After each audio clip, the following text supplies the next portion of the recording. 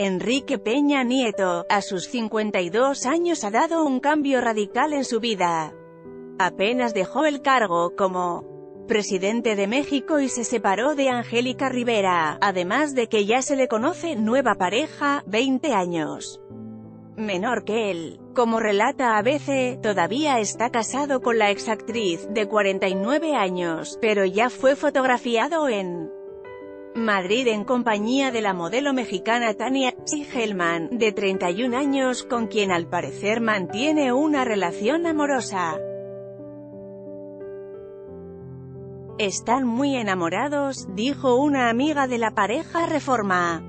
La pareja ahora se encuentra en Ciudad de México.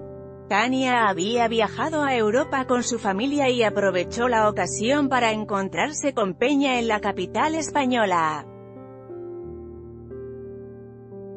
Mujer viaja a Perú para hacerse una liposucción y le operan la nariz era cercano a la familia desde hace años no se sabe cuándo empezaron a salir, pero sí que ya se conocían desde hace años por lo cercano que es Peña con la familia de Gelman.